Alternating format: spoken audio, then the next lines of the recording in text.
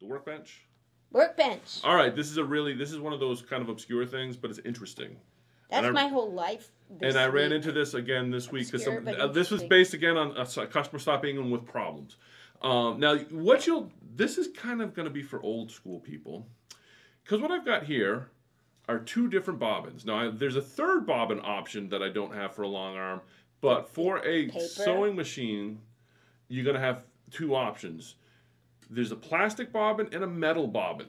Now, in a long arm world, you have plastic bobbins, metal bobbins, and there's steel bobbins. Oh, we, I was going to thought you were going to say cardboard. Um, yeah, pre-wound. Some cardboard and, and, too. and what I'm about to explain to you does also apply to pre-wounds. This is a very interesting. It's what they call backlash, and this is why if you're one of those people that's like, I only going to use steel bobbins because they're steel bobbins and they're the best, it might not be the best for your machine. There's physics. This is a fun physics lesson. You know why? Because these, well, both of these are the same size. One of these weighs more than the other. Can you guess which one? It's going to be the metal one because The metal one? the metal weighs more than the plastic. No way. And now this, in all honesty, is doesn't seem like a big deal. You put them in your hand, you might be able to feel the difference in weight, and it may not seem like a big issue.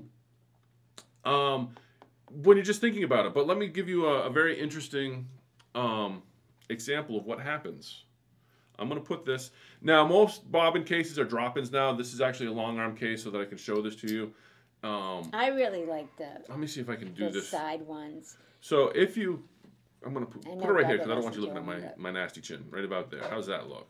Yeah, he wants us to show off his his, his I, t-shirt. I- no, okay. So watch what happens when I pull this with a little bit of speed. Just wa- look, look inside. You're gonna look right inside there. You see that? oh, you made a mess. Made a mess. Now, there's, there's a backlash spring in here. When you put this in your machine, this gets pushed down, and there's a spring that keeps that from happening on a long arm. You don't have that on a regular sewing machine. Huh. But you're holding it upside down. I'm holding it upside down, but now watch what happens. Now, I'm going to do the same thing with a plastic bobbin. I'm going to pull it the same way I just did that one. Watch what happens. So you're going to look inside here again. It didn't overspin nearly as no, much. No, it did not. because it weighs less, that inertia of spinning it, it stops quicker.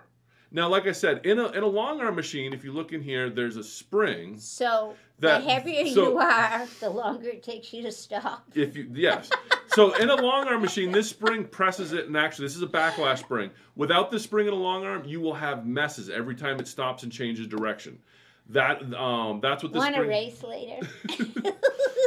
but um but that's uh so that's the importance of using the proper bobbin so if you've got a machine that was designed to use steel bobbins it will probably use plastic bobbins without an issue because the inertia you're not going to have that backlash issue if you have a machine that was designed to use plastic bobbins you may find that steel bobbins cause problems you get tangles and things start to happen because every So time you stop the. Every time you stop the machine, if you're if you're cruising along at a high speed and you stop the machine and you have a steel bobbin instead of a plastic, that extra inertia may over rotate and you get a, a jumble in your bobbin. So that's just like I said, that is just a quick. It's a real weird minor thing, but I see this a lot. That's also the reason why a lot of times you'll find a lot of success with pre-wound bobbins, because pre-wound bobbins, especially like the cardboard ones, they don't have any weight aside from the thread. The plastic pre-wound bobbins um, tend to have a thinner shell, so there's not a lot of extra inertia, so you're not worried about over rotation. Like I said, machines are designed to take that into account by the way it sits in the bobbin hole. But if you're if you're using the, a, a steel bobbin when your machine was intended for a plastic, you may run into these occasional problems just because it's it was it was designed for because physics inertia. Now, I don't remember where I saw this, but um, several shows ago, we learned from Brent that we shouldn't use our pre wound bobbins more than once. And I confessed I did. I had been loading them. And uh, he said, I shall not do that, Becky. And I've been much better at tossing them in the trash, which is really sad. But do you know they just, somebody, I wish I could remember where, unless I dreamed it, came out with pre wound bobbins that are reusable. Yeah, they probably just put them on regular plastic. Yeah, so so now it's something for you for people like me who don't want to throw away my bobbin. Uh, there are pre-wound reusable bobbins out in the world And- today. And I and cannot remember who. I don't know if we covered it at the, when we were talking about that, but I'll, I'll just cover it again when we're talking about bobbins. Bobbins wear out. Plastic bobbins, metal bobbins, they will all wear out. And the easiest way to check your bobbin, it's you can do this on a regular machine. You put it in the bobbin case, and this was spring loaded. Know, yeah, you got that, Eddie? This one is spring loaded, so it's sticking up a little bit. But when I press it down, it go it's underneath the top lip of the case. If you have a bobbin, especially metal bobbins, you start to see this. They'll start to spread over time. So even when you press it down, it still sticks up a little bit. What do the plastic ones do? Plastic ones usually just break.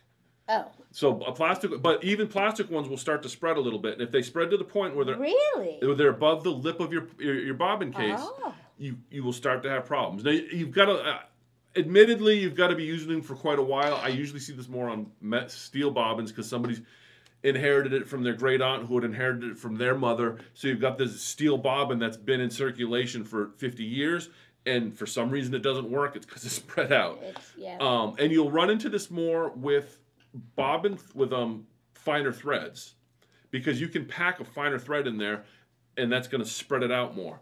Um, so if you if your tension is too tight, if your tension on your bobbin winder is too tight and you're using like an InvisaFil or a Decobob that's really thin, that will um that can spread your bobbin. So just be aware of that bobbin spread. Interesting.